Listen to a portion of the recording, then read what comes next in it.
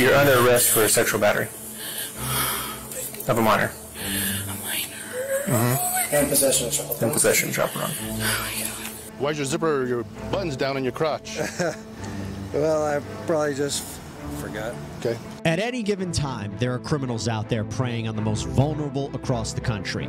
But law enforcement officers are busting more and more suspects showing predatory behavior. We're going to discuss some recent predator busts, and who better to talk about some of these operations than the unflappable and renowned predator catcher Chris Hansen. Welcome to Sidebar, presented by Law and Crime. I'm Jesse Weber. Right, before we even get started, we got to talk about something an elephant in the room, if you will. We have read your comments, folks. I know, I get it. You hate our studio. The panels are off. They look like they're blood stains. It's too murdery. We get it. We get it. We get it. We actually tried a lot of different versions. I think in one, I kind of looked like I was the emperor of a galactic empire. I always try to forget that one, but we tried. We tried. We've heard you loud and clear. And look, our goal is to give you the best experience possible. So, what did we do? Oh, I don't know. We just built an entire new podcast studio. All right. So, with that, let's go check out the new studio. I never get to give anybody a tour. I love this. All right, let's go. By the way, get a behind the scenes look of Law and Crime. How often do you get that? We're making our way. Hi, everybody. Hello, hello. Nobody says hi to me. Nobody likes me. By the way, I hope you like the studio because I, I don't know what we're going to do if you don't. I really don't. So even if we'll take your comments, but it's fine. Oh. Little self promotion never hurt anybody. All right. Are we ready? The new studio awaits. Oh. Look at that. Hey, Chris Hansen. Hey, how are you? Nothing more terrifying than Chris Hansen just waiting for you. The good news is, is we were waiting for this. We knew he was coming. So, Chris, Exactly. good to And I'm you. not standing, but I am, Jesse, going to tell you to have a seat right over there. We didn't even plan that. That's how great that is. Oh, feels right. I couldn't resist. Oh, it's great. Good to see It's you. nice new studio, buddy. Thank you, I thank you, this. thank you, This thank you. So you're our first guest in the brand new I'm studio. honored. Do you it. like it? I do. I like it very much. It's got a nice touch to it, great colors. And, you know, look, we know that viewers like to see something different every once in a while. And, and, and people who watch this content think it's easy to just whip together a new studio. Well, it's not. You got to fit it into the existing space of a building in New York City, and it comes with all the challenges attached to it. But I think you guys did a great job. Looks, looks great. Well, thank you. I mean, look, we want to give the best experience. We got a lot of people online who are not happy with our old Yeah. studio, so this is the new one. Perfect. Hopefully they don't hate it and we have to change Nah, it again. think But I want to talk to you about what we're here to have you here for to break in the new studio. By the way, Chris Hansen, everybody, you can check him out. He's the host of Takedown on TruBlu, the podcast Predators I've Caught, um, and I'm so happy to have you here because we're going to be breaking down these five big predator catchers from recent cases. And I mean, honestly, who better to break it down than you? So let's get into it. Uh, we're going to get into the first one right now. This first one is in Cape Coral, Florida in September 2022. There's a 911 phone call from these concerned parents who believe that this man was inappropriately messaging their minor age child online. And police interviewed them about the situation. Let's take a look. He's not coming in my No, no, no, no, I'm saying- I'm- I'm saying- tell you guys right now, Mm-hmm. and I'm, I'm. This is not a threat. This is not a promise. This is an instinct. We're there's no more contact. That's definite. Mm. Yeah, of course. If this man shows up on this door, I am taking that as a threat to my children. Right. I'm pissed because I had a gut feeling and I didn't have enough. It's okay, you and didn't- Now it's in front of me Yeah. and I'm mad. No, it's like I get it. Okay. I'll, I'll document it in my report that he was giving obscene gifts and And he's luring them with money because they're young adults Yeah. wanting It's to like be. candy, you know? Yeah, like uh, I don't know how to explain it. Like I get that. it. If he didn't get to our kid, I don't want him getting to another. yeah. So that's the Somebody whole like point. this has been thinking about this longer than just our kid. So I'm gonna put in my report that they're interested in working with detectives. Um, I'm talking to this guy because like it's gotten to that point where like if the child was naive enough to go alone with him somewhere, like Chris, they actually end up working with the child. They continued to message with this man on the other end. Eventually, a Cape Coral police officer took over, pretended to be the child. Is that typically how it's done? Well, I think it's how it should be done. If a parent sees this sort of activity online with their child and they report it to the police, as they did in this case, it would make sense that the police would then work with the child and the family to take over the identity and create a criminal prosecution against the man who is clearly up to no good. I mean, this guy is a bad actor who's trying to solicit a child for uh, illicit purposes, and there's a record of it. But for the police to take it a step further and go undercover and actually go get the guy, I think that's textbook. That's the way it's supposed to work. And not surprisingly, I think we can all imagine what happened. This conversation quickly became sexual, lasted for several weeks, and according to investigators, the man identified as 51 year old Reagan Beresford uh, even sent graphic nude photos to, again, somebody he thought was a minor. And they arranged to meet up at this local gas station, but while Beresford was expecting a minor to show up, that is not who showed up. Get out of the car. Get out of the car. Get out of the car. Put your hands behind you. Get out of the car. Put your sunglasses down. Put your hands behind you.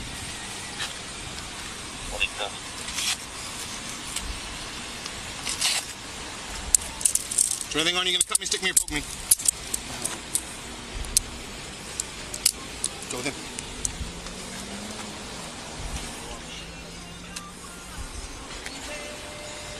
He's in custody. No.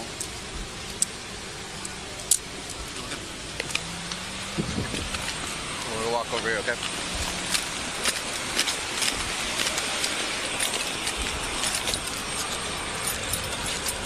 Put your feet. No weapons on you? No. All right, go ahead, sit, sit inside.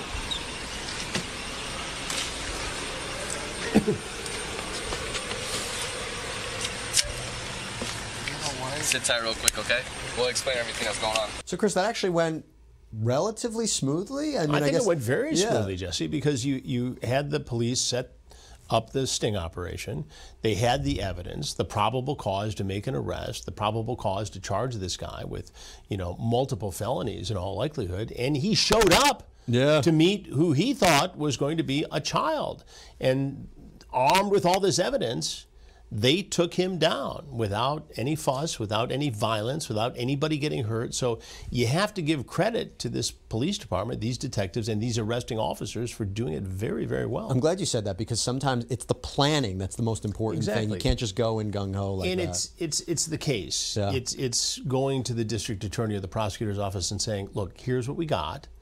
This is the next step." Yep. And that's why we on our takedown investigations always collaborate with law enforcement. So Right. the decoys, the chatters are law enforcement. So there's no question about the the uh, possession of the chats or the chain of custody of the evidence. All that is is protected, and so there's a near perfect prosecution rate because of it. Yes, Yep. I want to be as involved as possible. I want to get in the mind of this predator and do this interview, and I'm able to do that still with the law enforcement collaboration that we have. you said it so perfectly because you have to make sure that's an ironclad prosecution. Otherwise, if you Because what have gung-ho- you done? You've- created exactly. a video for Right. clicks and views and, and, and potentially profit, but Yeah. you haven't created any sense of, of justice. And to be socially responsible, that's what we Right. have to do as, as Right. journalists, as content creators doing these stories. and clearly serious. We're talking about the charges. Uh, Beresford was charged with traveling to meet a minor, solicitation of a child, transmission of material harmful to a minor. He entered a not guilty plea. The case is still ongoing. I think it's pretty clear that these are very disturbing stories, to say the least. And whenever I hear stuff about this, I'm always saying to myself, how well do you really know the people in your life? Who do you let into your life? It's a scary concept to think about, but that is why I want to talk to you about our incredible sponsor and partner who may be able to help you out here. Truth Finder. So, Truth Finder is a service that can provide actual safety for you guys. And I say that because Truth Finder is one of the largest public records search services in the United States. Their whole goal is to help people like you learn about the people in their lives. And here's how it works you go on their website, truthfinder.com, and you type in a name. For instance, your new neighbor. And let's say your new neighbor is me, Jesse Weber. Make it easy. You type in my name, and within minutes and a paid subscription purchase, you can access unlimited reports that can include information like phone numbers, location history, criminal and traffic records, including possible arrests and criminal convictions. I don't have those, but you get what I'm saying. You get the point. Truthfinder has been partnering with Law and Crime for a while now. We actually use it to research some of the cases that we cover here on Sidebar. But generally speaking, it just can help provide peace of mind when you do these unlimited public record searches. Also, you know what's really useful? From within the report, you can search an address, like your home address, to see registered sex offenders that may live in that area too. That's the point. Unless you use Truthfinder, you may never know the reality about the people around you. Truthfinder, by the way, can be used to look up information about people you meet on social media, new dates, people you're buying or selling to online, the parents of your child's friend. You can never be too careful. Well, right now, here's the kicker. You can get 50% off of your first month of confidential background reports right now. Just go to truthfinder.com slash LC sidebar. Now we're going to go over to a different case. This is out of Michigan. So this is Sandusky, Michigan, August 2022, where a man accused of trying to pull a young girl into a thrift store bathroom made things a whole lot worse for himself. You see, a woman reported to police that she was in the store with her two young children, an eight year old daughter, six year old son, when suddenly the boy ran up and said that a man was trying to take his sister. Hi. Um, my daughter was apparently attempted to be pulled into the bathroom by a young man here. That manager, he's a, he's a I said a young man. Oh, I'm sorry. Okay. My I was right around the corner at the racks where the clothes were. My son came over and told me someone was trying to grab her and take her into the bathroom. Okay. I obviously went over there and he was inside with her trying to get out of the bathroom, crying. That's another reason why I don't believe that he tried to push her out because I saw her in the bathroom trying That to was get the out. only way he told me I didn't see it. Okay, I'm sorry. I would like you to not be around her, please. I've got everything I need from you guys. Okay. Why don't you guys go ahead? Just take off. We'll get back with you guys when we have more information, okay? What happened? Yeah. What? Somebody, uh, kid that works there tried to pull her into the bathroom. Is he in there? No, hey, is he in there? Stay here. No. Is he in there? I'm gonna go deal with that in a moment, okay? Wow, so that's pretty harrowing. Yeah. Have you ever encountered anything like that where we, somebody's we've trying to? seen it. We, we've seen cases like this that have developed spontaneously, where you've got the more classic sort of predator who's hanging out in places where families may be trying to break a child away from the family gathering and, and take her into a place to, you know, catch this child by surprise and commit this heinous act. Uh, we've also seen cases where grooming has taken place between the predator and the, the target, where they've been texting while the child is with the family at a store someplace Yeah. and tries to get the girl to meet him in the you know unisex or family restroom. I mean, it's shocking.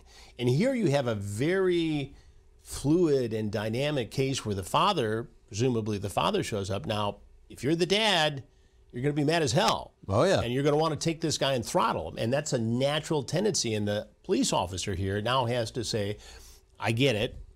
I'd be upset too. In fact, I am upset, even as a, as a law enforcement officer who's supposed to just investigate this thing objectively.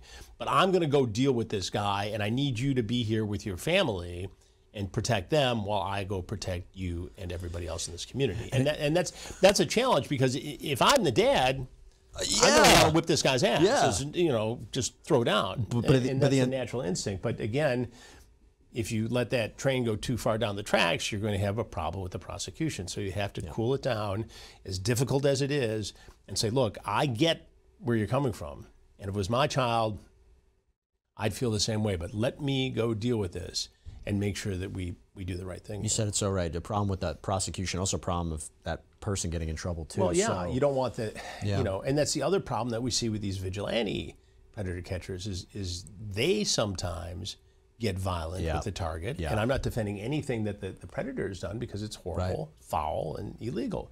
But if you assault them, then you're guilty too. And we've Oh, seen yeah. cases around the country where the vigilante predator has been prosecuted or himself harmed in, in a horrible way. which makes it more important the work that you do, Chris. So in this case, to give everybody what happened, the manager or owner of this thrift store comes out to talk to the officer, relays that uh, they've had problems with the suspect, 19-year-old Andrew Jewell, before this happened, and the officer goes inside to get a better look at the alleged scene of the crime, while Jewell tries desperately trying to avoid going to jail. So, he he does. He had a charge in Lapeer that was on probation for a misdemeanor, but he was never charged. They had never had enough evidence of the same thing. Okay. What I see on the camera, and I can forward it to you, is him going in the back, mm-hmm. coming back out, mm-hmm. then looking, and waited till they came back around.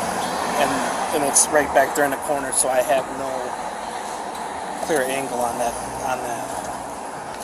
His name is named. You uh, got his information. I'll be getting it from him. Okay, so I got both doors locked just Okay. because of that situation. I didn't want it to Right. escalate. Would you like to go around back and talk to him, or just? Yeah, well, we can go through you. Hi, can I talk, please? Yeah, go ahead. I was in the bathroom.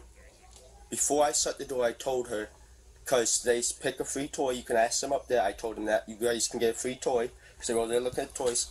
I shut the door. When I was using the bathroom, the little girl walked in on me. And she made it halfway in the doorway. I freaked out and tried to slam the door, and it hit her.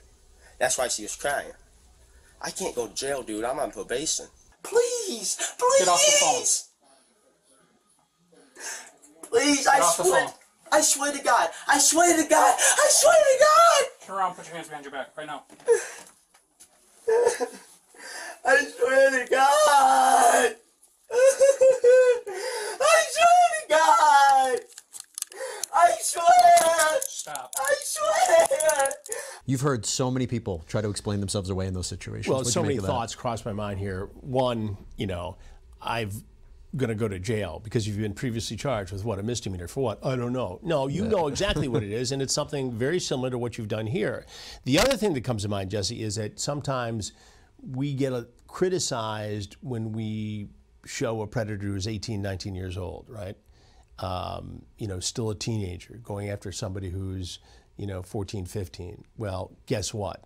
It's still illegal. It's not Romeo and Juliet. And this is a prime example of why you need to intervene and go after somebody. This guy may not be the sharpest guy uh, uh, in town, but he is just as dangerous as anybody else and just as dangerous as a 29, 39, or 49 year old, this 19 year old.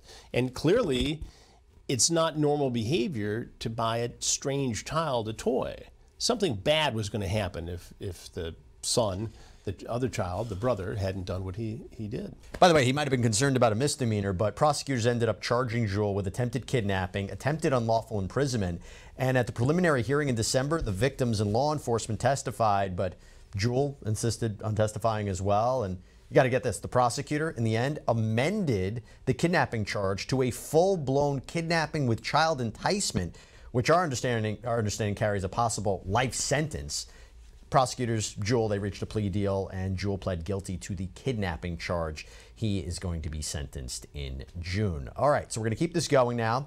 And we want to go to August 2023, uh, where officers in Stillwater, Oklahoma, went to a woman's apartment. And this was after a very chilling report from her boyfriend. You see, he told police that while she was sleeping, he looked through her phone and found multiple disturbing images and videos of his three year old daughter. Hello.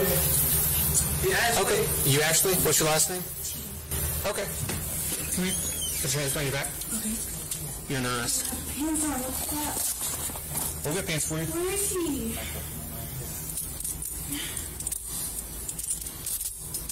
Ashley, do you have any pants? Yeah, let's push right. There's no one in the room. There you go.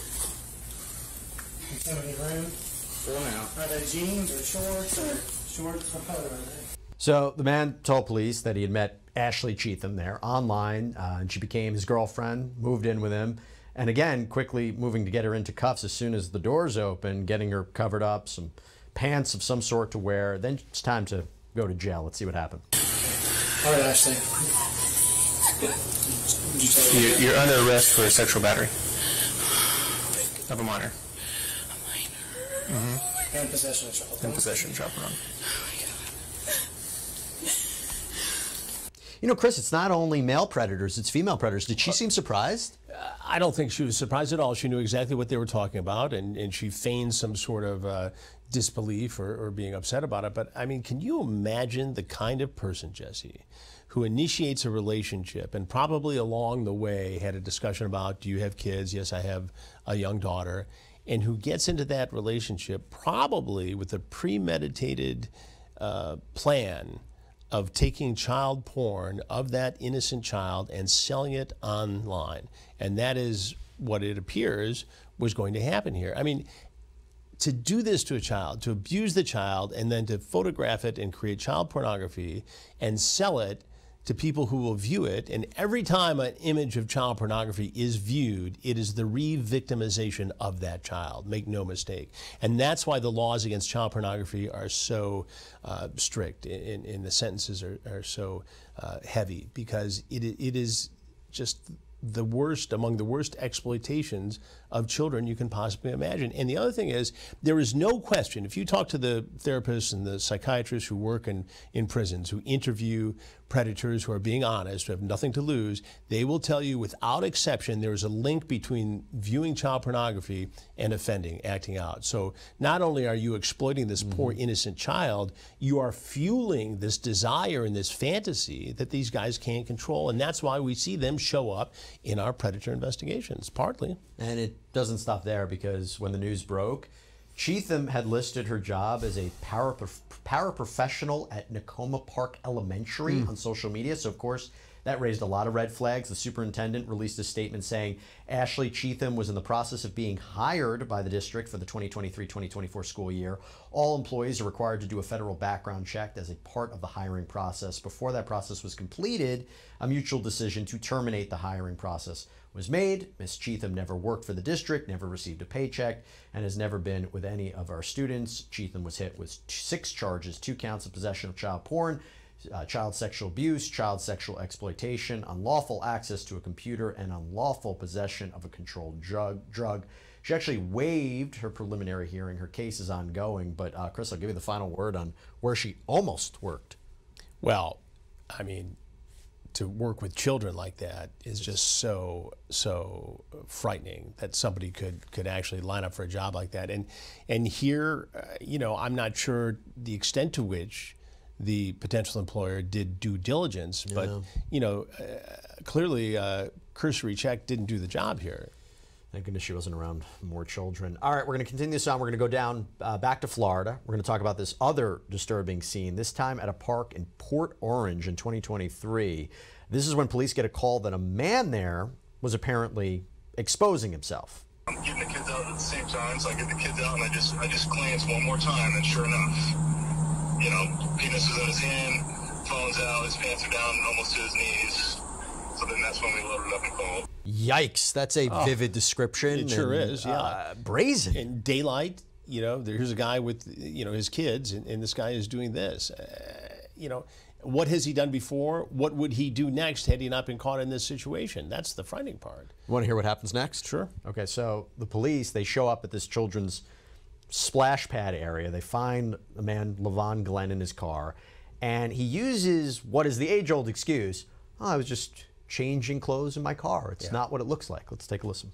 None of that, man. I don't do that. I'm not you ever have, like, while you were changing, did you have your phone in your hands at all? My phone's always up here. Okay.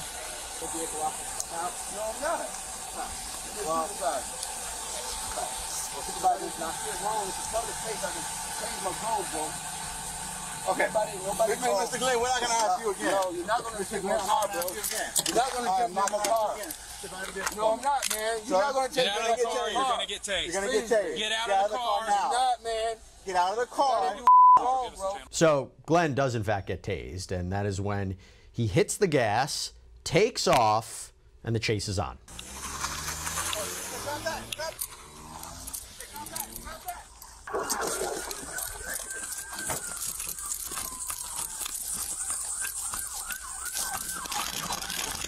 Oh, you gotta be done. Hey, quit reaching. Quit reaching. Stop. We're still heading north. Get down. Stop.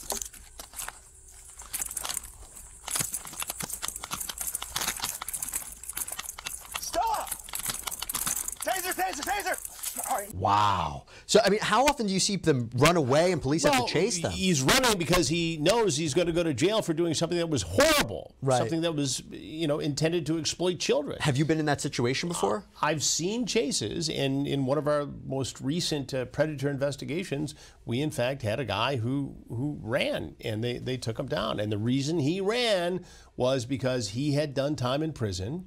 He was the son of uh, very important people in this community, influential people.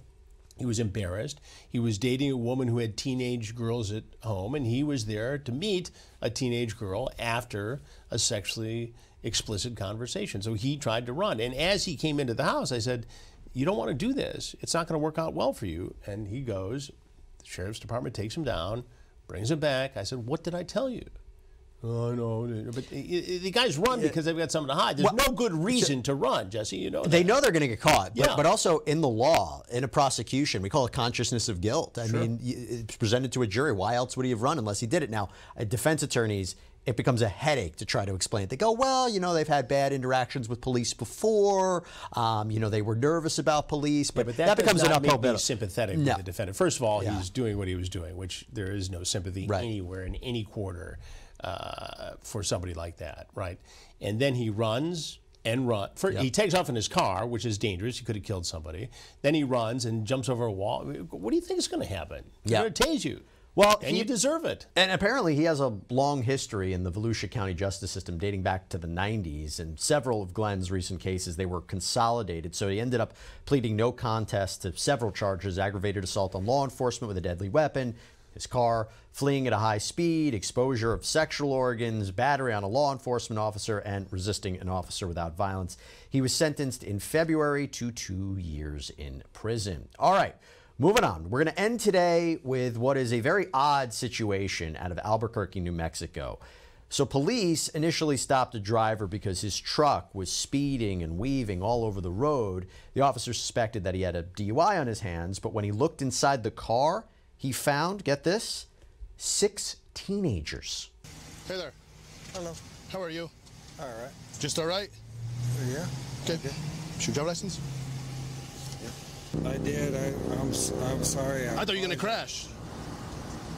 No, I don't. I didn't say. I don't think so. I'm just saying I thought you were gonna crash. Okay, and then you have a bunch of kids and then the car. How many kids? You have one, two, three, four, five, six. Who are these kids to you? Uh, this is my friend. That's your friend? Yeah. How old's your friend? 18. That girl's not 18. That girl's not 18. Yeah. No, she's not. No. I don't think she is. That girl's not 18. Trust me. She don't look 18. Ma'am, how old are you? I didn't ask you your name. I asked you how old, uh, how old you were.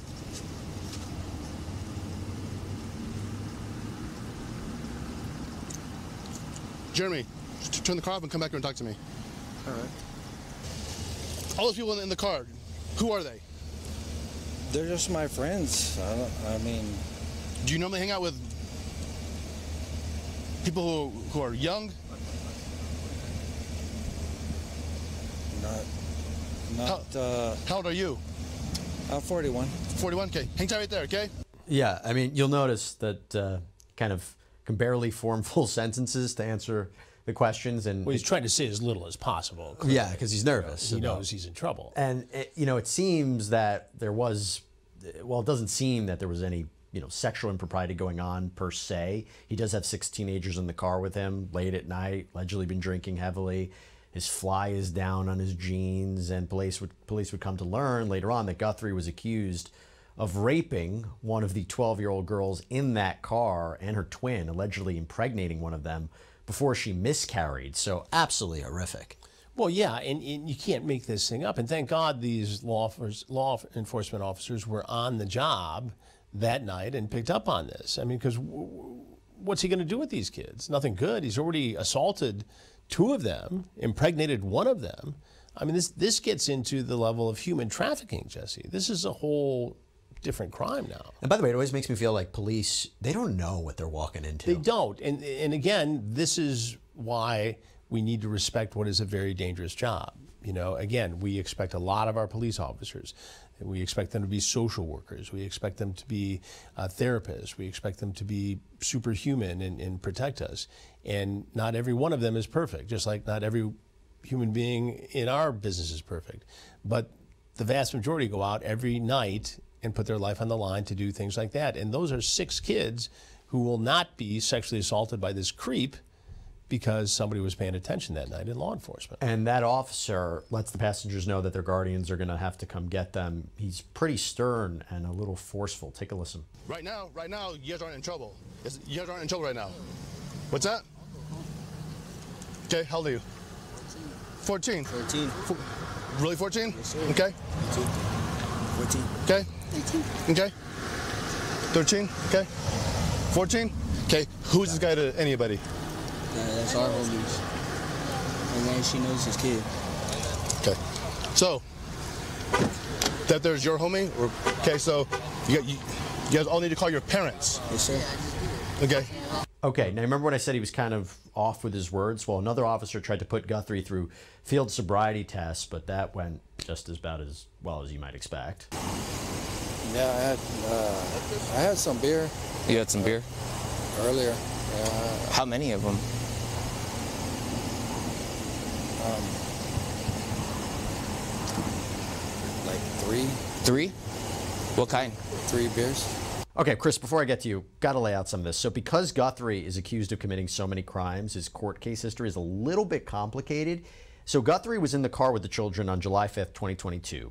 A grand jury indicted him, on, indicted him on six counts of abuse of a child, aggravated DUI, some traffic offenses. And since then, Guthrie entered a not guilty plea. There have been continuances and so on. And we now know that Guthrie is actually scheduled to attend a change of plea hearing uh, tomorrow at the time of this recording, uh, May 30th. Now, around uh, the same time, July 2023, Guthrie was also charged in connection with the rape of the twin girls back in 2021.